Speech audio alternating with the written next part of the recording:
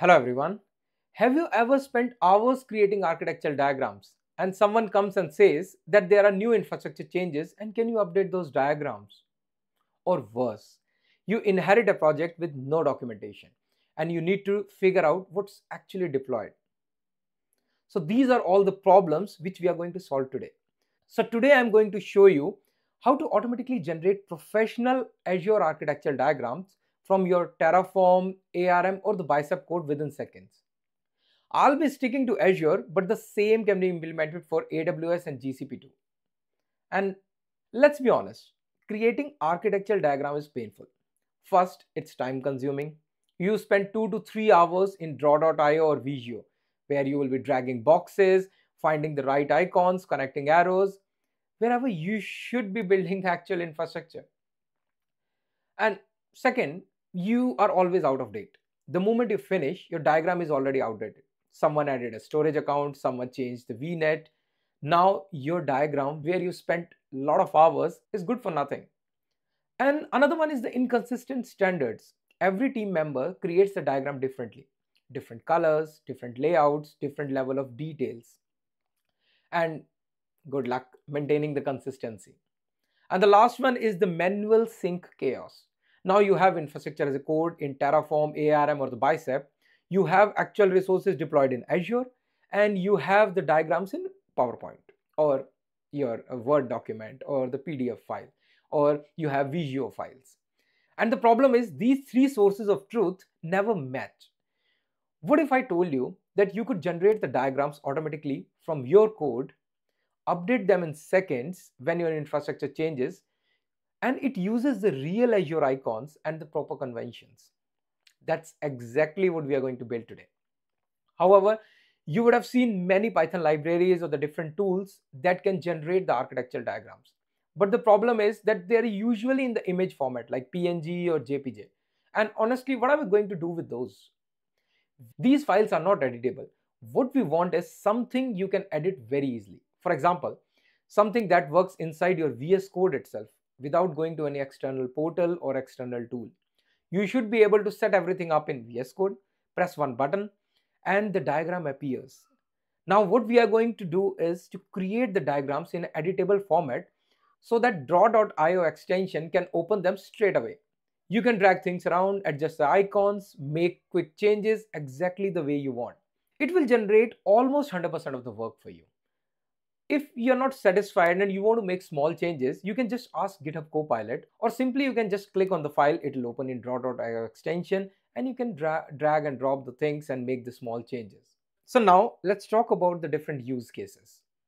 For DevOps engineer, imagine you are onboarding a new team member. Instead of explaining the architecture for two hours, you can just run one command and there will be an architectural diagram explaining the whole infrastructure.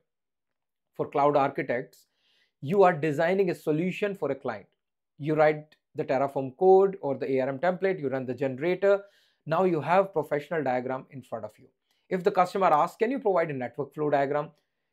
And you don't even have the code, then you can just provide the instructions and that will be done. No extra work is required. And for compliance and audit purpose, security, like if you have a security audit next week, you can generate the architectural diagrams immediately within minutes or I would say within seconds. You can run it through your code and provide the prompt. So whatever you want to create and everything will be ready within seconds.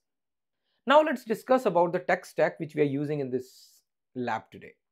So Python diagrams library which we are going to use, it's an open source library using which you can generate the different architectural diagrams. It has built-in Azure, AWS and GCP icons. Then we'll use the GraphViz which is a rendering engine which converts the diagrams into the PNGs or the image format or the dot format or SVG format. Then comes the GraphViz to draw.io. So it's a converter that converts or turns the diagrams into editable draw.io files. So you can auto-generate almost 100% of the work and the fine tuning or last some bit of changes you can do using the GitHub Copilot or you can manually do it by clicking on the file which is draw.io compatible. And when you use the extension it will open the file. You can uh, make the changes. You can edit it the way you always do it. And this will make things easy for you. So by end of the video you will know how to install and configure all the tools, generate your first Azure architecture diagram from code, pass Terraform files or the bicep templates to visualize the deployment and export to draw.io for manual refinement. And all the code which I'm going to show in this demo will be in the GitHub. So you can just find that in the description of this video. And one last thing. Now this is what we are doing manually.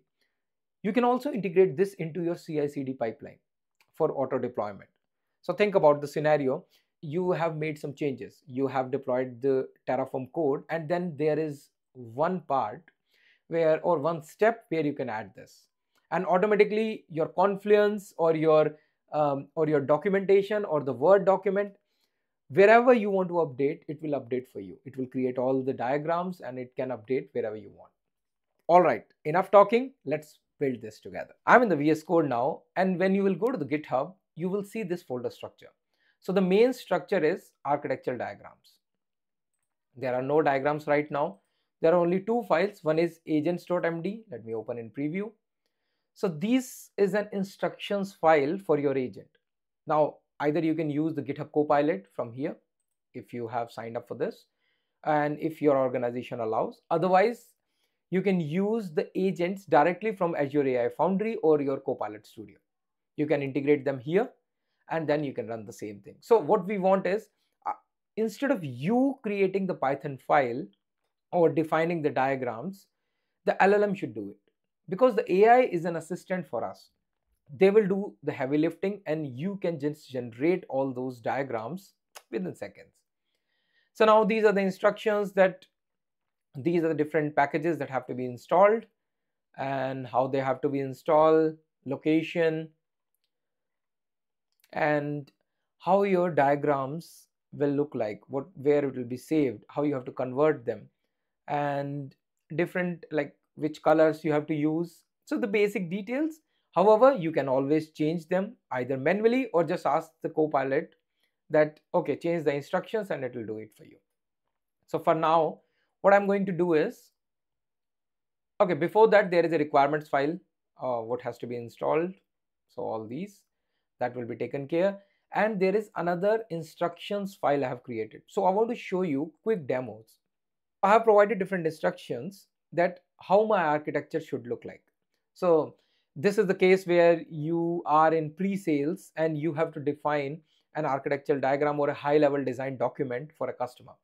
You just provide what we are going to create and it will create the diagram for you. So basic details which will connect with and I have provided more information like the layout rules but you don't have to and it will understand and then other is the bicep demo or the terraform demo. So these are the two different applications one is deployed through terraform. Another one is deployed through bicep. So let's start with our manual instructions. So i'm going to open github copilot and ask us go to architectural diagrams folder and read instructions for you in agents.md file and once that is done go to instructions.md file and create architectural diagrams for me. Just this much you have to write. But before that copilot can set it up for you but let's do it manually by ourselves. So let's go to architectural diagrams folder we run python virtual environments because when you're running python it's it's always recommended to create the virtual environment so that all your packages and everything will remain there. Now we have a virtual environment. Let's activate it. It's activated. And then we install requirements.txt where all the packages will be installed. So it's installing all the packages. However there is one dependency which is C++ build tools, which you can do by installing the Visual Studio. There is an option and once that is done, it'll be all good. Now it's installed and let's ask it to run. So it's reading the files as you can see, agents.md and then it will read the instructions. Now it understands the instructions and it's going to create it let's see it's using Azure diagrams, virtual environment it's using, that's good. It's activating it again, but that's all right. It's just checking the version. Okay, perfect. Now it will create the Python script for you. Okay, as you can see, Python script is created and here is the script and let's run it. Hopefully it will not fail. Okay, it has made some mistake, but it can fix it by itself.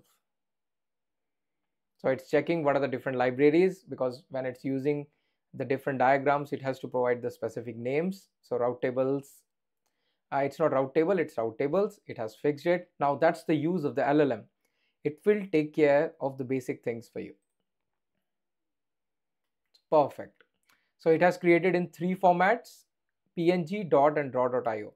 So PNG, it's by default, it creates in PNG. Now because we have used um, GraphViz to draw.io. So it uses first it converts first it creates in dot format and from there it creates draw.io. But before that, let's open the diagram. It looks good. Let me close this, close this, and zoom it for you. See, check how beautifully it has designed all the lines, everything, and all the details are provided. Subnet details, and now you can you can ask it to make the manual changes or just click here. Simple draw.io click here.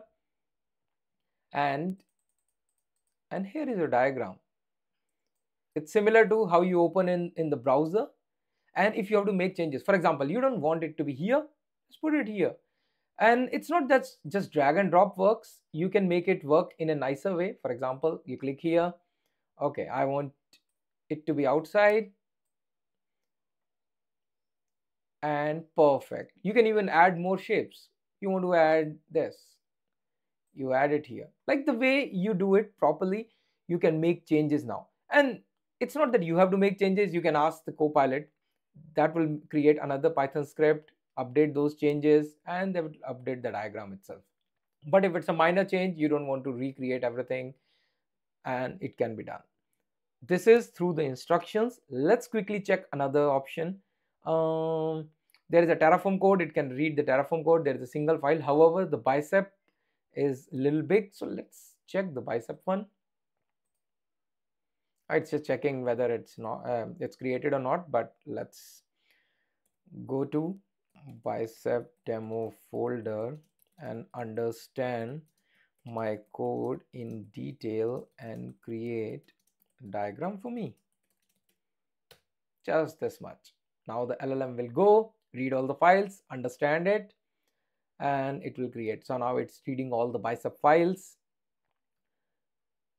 So it's checking because I have uh, from the Azure samples, quick start template repository this is, and it's reading the details from here.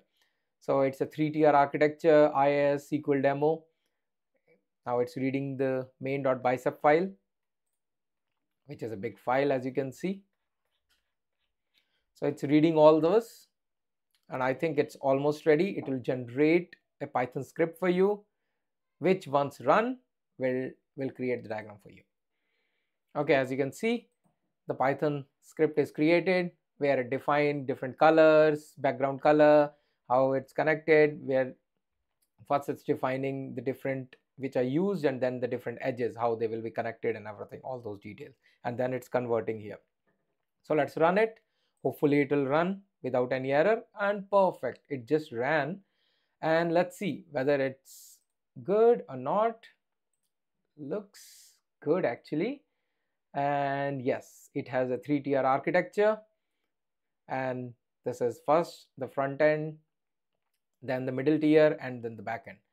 And if you want to change it you can you can just go here and make the changes. You don't want it here here add something add the text whatever you can do or edit the text here.